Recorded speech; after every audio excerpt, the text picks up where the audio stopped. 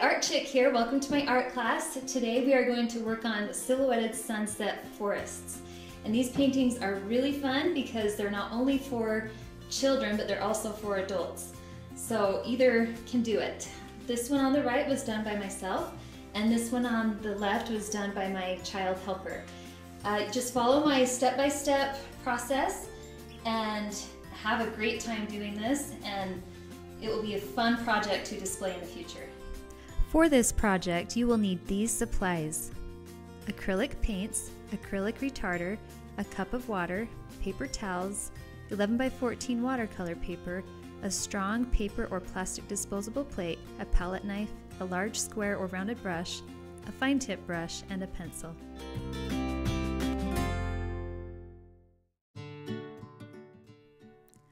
We will begin by drawing a horizon line, also known as the line that separates the land from the sky. This is the only time you'll use a pencil during this project.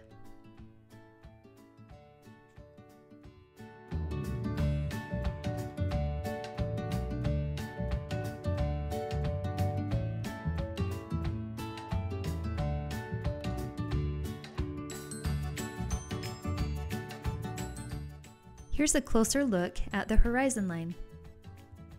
Now for the paint. Squeeze out a dime-sized amount of each color, except for the white and black. You will need a quarter-sized amount for each of those.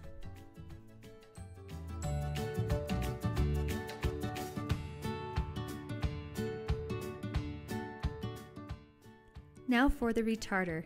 Apply a generous amount of this. You will need it to mix into each color swatch to make the paint slippery. That way it will spread further on your paper. Let's begin mixing. Grab your palette knife.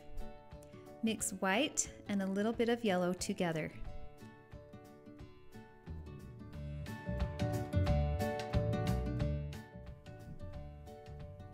To paint a sunset, we will first paint the circle for the sun using white. Now we are going to mix a second shade of yellow.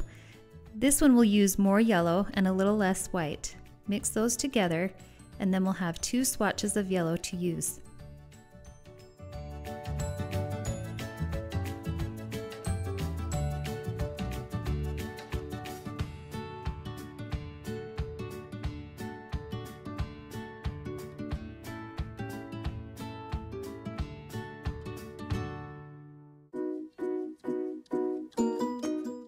Begin by painting the yellow around the white sun and then stroke the yellow back and forth.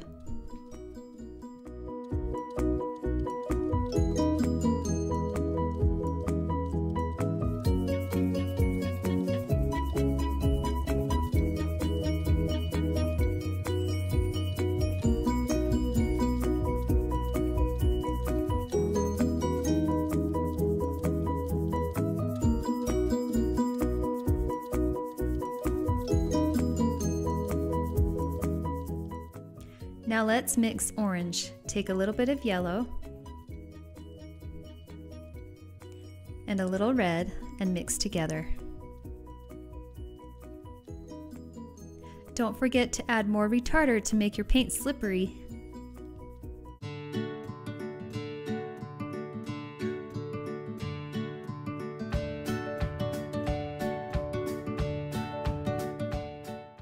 Apply just above the yellow, stroking back and forth with your paintbrush.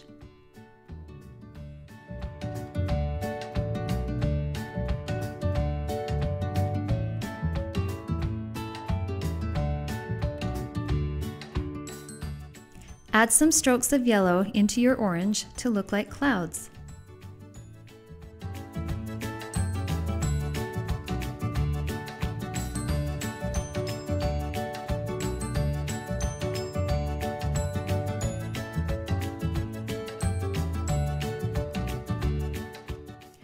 Repeat the process with red. The further you move upward, the darker the shade. We will blend each shade into the next.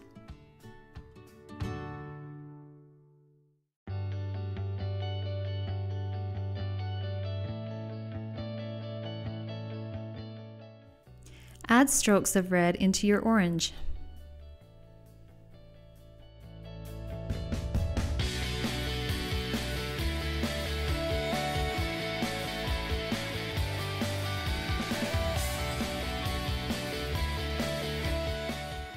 You see the beautiful sunset emerging?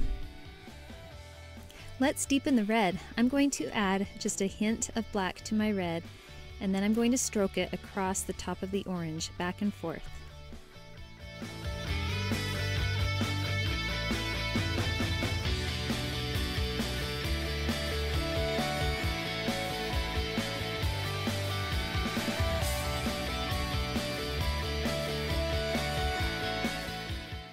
Watch as I continue to weave the red into the orange, adding great contrast and texture to my clouds.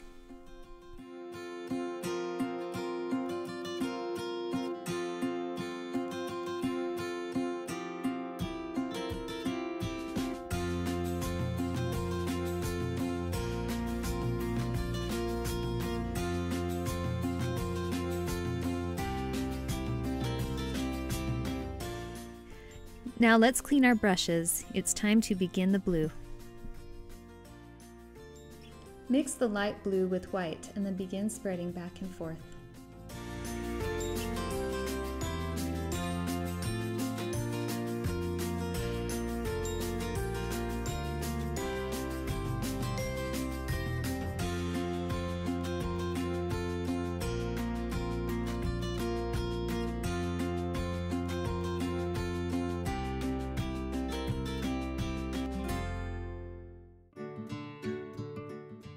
Let's begin the dark blue now. This gets really exciting as we work upward into the light blue sky.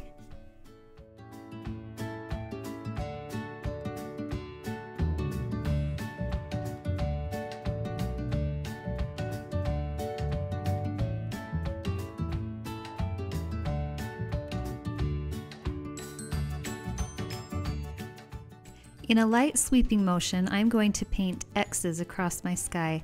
Notice the long strokes that I take as I go about doing this. Adding strokes into the warmer colors will add dimension to your painting.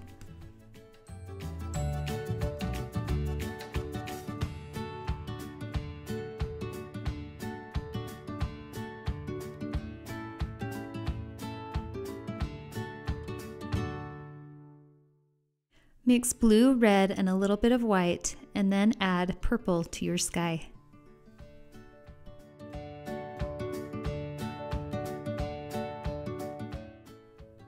Yay, now for my favorite part, the black. Here we go.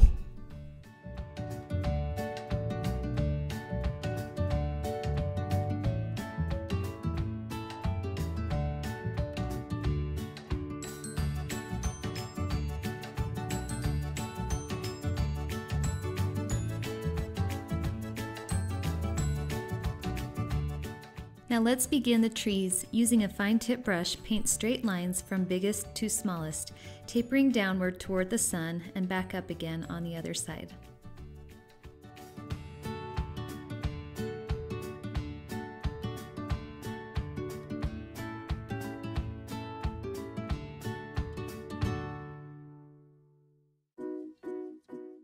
Once you've completed that, we can begin the foliage. Dip your fine-tipped brush into the black paint and stipple lightly at the top and heavier toward the bottom while staggering your branches.